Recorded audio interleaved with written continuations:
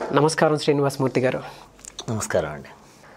చాలామంది దంపతుల్లో కానీ లేదంటే ఎవరైనా సరే స్టూడెంట్స్ దశలో అయినా సరే లేదంటే జాబ్ చేసే వాళ్ళైనా సరే వాళ్ళు ఎక్కువగా మనీ మా దగ్గరే ఉండాలి సంపాదించుకొని మేమే పెట్టుకోవాలి లేదంటే ఇంట్లో కూడబెట్టుకుని ఉంటే మంచిది అని అనుకుంటారు వాస్తవానికి.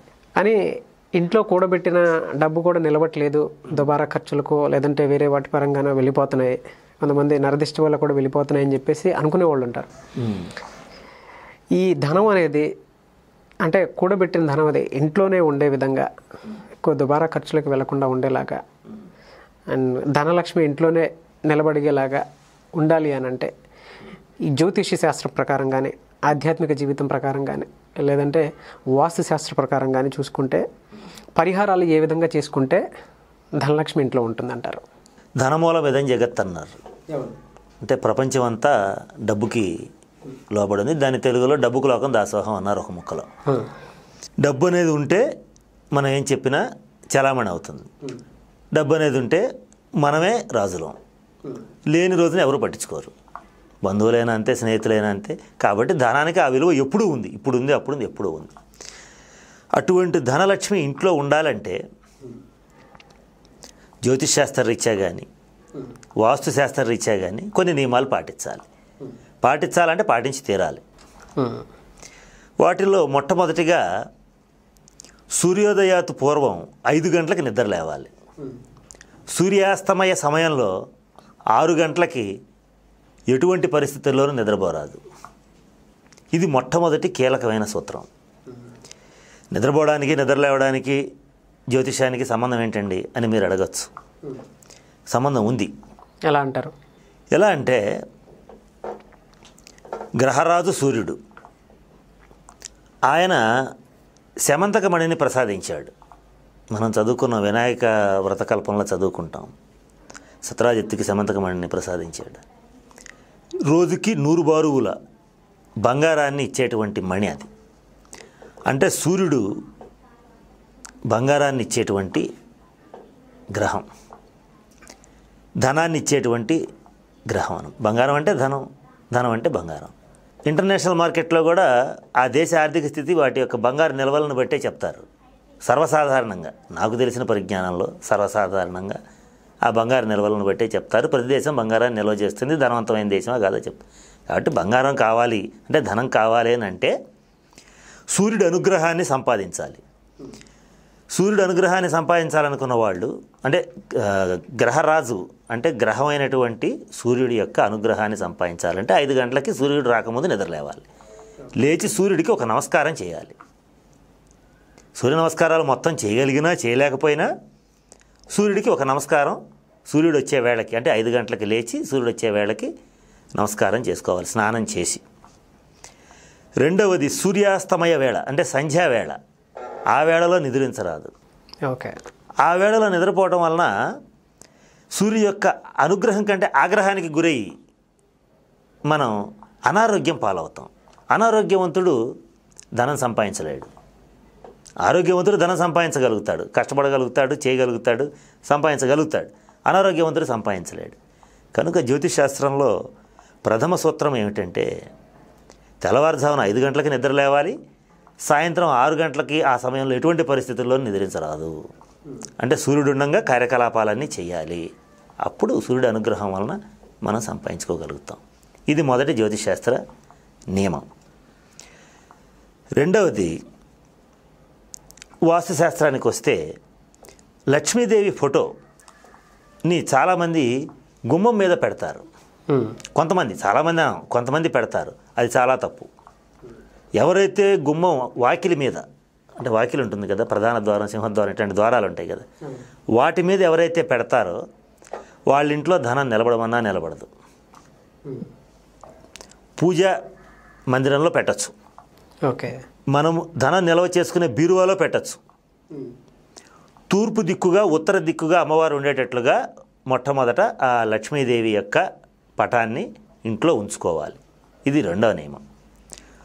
ఇంకొక విషయం ఏంటంటే లక్ష్మీదేవి వాకిల్లోంచి బయటికి చూస్తున్నట్టుగా పెట్టరాదు. ఓకే. లోపలికి చూస్తున్నట్టు పెట్టాలి. అంటే వీధి గుమ్మాన్ని చూడకూడదు. అంటే వీధి వైపు లక్ష్మీదేవి ఫోటో చూడకూడదు. చూస్తే అమ్మవారు వెళ్ళిపోతుంది. ఇంకా మూడో ముఖ్యమైన అంశం లక్ష్మీదేవి ఫోటోలు అందరం ఇంట్లో పెట్టుకుంటాం. కానీ నుల్చుని ఉన్నటువంటి లక్ష్మీదేవిని ఆ ఫోటోని ఇంట్లో ఉంచరాదు. కారణం ఏంటంటే లక్ష్మీదేవి చంచలమైనది. ఆమె ఒక చోట స్థిరంగా ఉండదు. వెళ్ళిపోతూ ఉంటుంది మారిపోతూ ఉంటుంది. ఇక్కడి నుంచి అక్కడికి అక్కడి నుంచి ఇక్కడికి వెళ్ళిపోతూ ఉంటుంది. కనుక ఆమె కూర్చుని ఉన్నటువంటి అంటే బాసిపట్లు వేసుకుని చక్కగా కూర్చుని పద్మంలో కూర్చున్నటువంటి లక్ష్మీదేవి ఫోటో మాత్రమే ఇంట్లో ఉండాలి. నుంచుని ఉన్న ఫోటో ఉండేటట్లయితే ఆ ఇంట్లో ధనం నిల ఉండదు. ఇంకొక ముఖ్యమైన విషయం. ఇనప బీరువా అంటే డబ్బులు దాచుకునేటువంటి ఇనప బీరువాని నైరుతి దిక్కులో ఉంచాలి. ఇంట్లో నైరుతి మూల గదిలో నైరుతి దిక్కున ఉంచాలి. ఇది ఎందుకని అంటే వాస్తు శాస్త్రరీత్యా నైరుతిలో బరువు ఉండాలి. ఈ రోజున ధనం అంటే ఐరన్ సేఫుల్లో దాచినా ఇన బీరువాల్లో దాచినా ఏం దాచినా సరే ఒక బరువు అయినటువంటి వస్తువుని నైరుతిలో పెట్టడం జరుగుతుంది. అక్కడ ఉండేటట్లయితే నైరుతిలో బరువు ఉండటం వలన లక్ష్మీదేవి ఆ నిరుతి అంటే నైరుతి దిక్కు యొక్క అనుగ్రహం కలిగి అక్కడ లక్ష్మీదేవి స్థిరంగా ఉంటుంది. ఓకే. ఇంకొక విషయం మంగళవారం ఎవరికి చేబదులుగా అప్పు ఇవ్వకూడదు. ఇస్తే తిరిగి రాదు. ఓకే. ఇది చాలామందికి అనుభవమైన సత్యమే. ఇది చాలామంది చూసే ఉంటారు కానీ మర్చిపోయి అప్పిస్తారు. ఇస్తే తిరిగి రాదు. అలాగే బంగారాన్ని ముఖ్యంగా ఎవరికన్నా ఉంచండి మీ దగ్గర మేము తర్వాత తీసుకుంటాం. లేదా ప్రస్తుతానికి వాడుకోండి మేము తర్వాత తీసుకుంటాం అని ఇచ్చేటప్పుడు ఎటువంటి పరిస్థితుల్లోనూ తిథివార నక్షత్రాలన్నీ చూసే ఇవ్వాలి కానీ చూడకుండా ఇవ్వరాదు. అలా ఇచ్చినట్టయితే ఖచ్చితంగా ఆ అది తిరిగి రాకపోగా తగదాలు వస్తాయి గొడవలు వస్తాయి ఎంత దూరమైనా పోవచ్చు. ఇలాంటి పనులు మాత్రం పొరపాటును కూడా చేయరాదు. అంటే మనం బంగారాన్ని మీ దగ్గర ఉంచండి మేము తర్వాత తీసుకుంటామని ఎవరన్నా అయిన వాళ్ళలో కానీ బయట వాళ్ళలో కానీ ఇచ్చుకుంటూ ఉంటారు సహజంగా. ఫంక్షన్ ఉందంటే నగేస్తారు పెట్టుకెళ్ళమని. ఇలాంటివి ఇచ్చేటప్పుడు ఇలాంటివి చేసేటప్పుడు దుర్ముహూర్తంలో కానీ వర్జన్లో కానీ మంగళవారం కానీ శుక్రవారం కానీ ఇట్లా వేళ కానీ వేళల్లో కనుక ఇచ్చేటట్లయితే తిరిగి రాదు. అప్పుడు ధనం ఇంట్లో ఉండదు. ఇవి ముఖ్యంగా మనం పాటించవలసిన నియమాలు. కొంతమంది అంటే బీరువాలో మూలికలు పెట్టాలను లేదంటే బీరువాలో ఈ ఫోటో ఉండాలను దానివల్లే ధనం నిలబడుతుంది అని చెప్పేసి అంటూ ఉంటారు కదా అలాంటి పరిహారాలు ఏమైనా ఉన్నాయండి ఉంటాయండి. ఈ బీరువాలో హతాజోడని ఒక మూలిక ఉంటుంది ఆ హతాజోడు అనేటువంటి ఒక మూలికని ఒక ఎర్రగుడ్డలో కట్టి.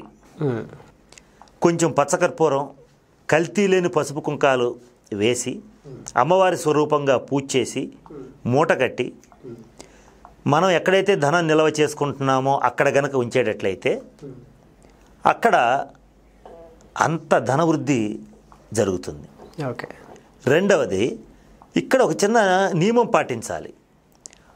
అది సాక్షాత్ అమ్మ అమ్మవారి యొక్క స్వరూపం. ఎటువంటి అంటు సోకరాదు అంటే కొద్దిగా ఎవరన్నా పోయిన వాళ్ళు మైల అలాంటివి సోకినప్పుడు వాటిని తగలరాదు. తగిలితే దోషం. ఓకే.